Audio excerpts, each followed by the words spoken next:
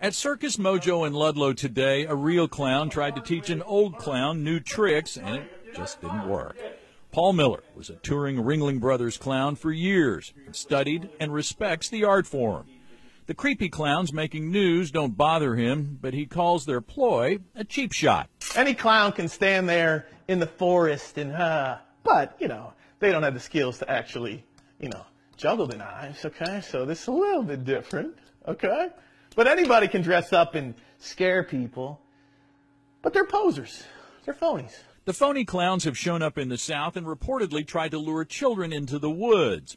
A woman in Franklin, Ohio called police on Tuesday claiming a clown came after her. So I live up a balcony, and right before I got to the steps, it ran around the side of the building, and I just ran as fast as I could up into the balcony and shut my door. Also on Tuesday, more than half the students in Gallatin County stayed home after a social media threat tied to a clown. Wednesday, a clown Facebook post prompted police to watch the buses coming into the Holmes campus in Covington. Except for the incident in Franklin, none of these situations have actually involved anyone dressed up like a clown. They've all been social media pranks, online ruses.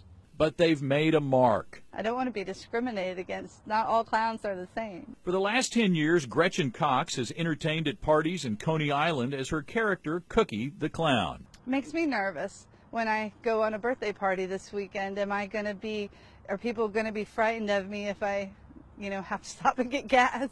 It probably depends on whether you pull out a knife or a balloon animal, or act like a clown, not a creep. Joe Webb, Local 12 News.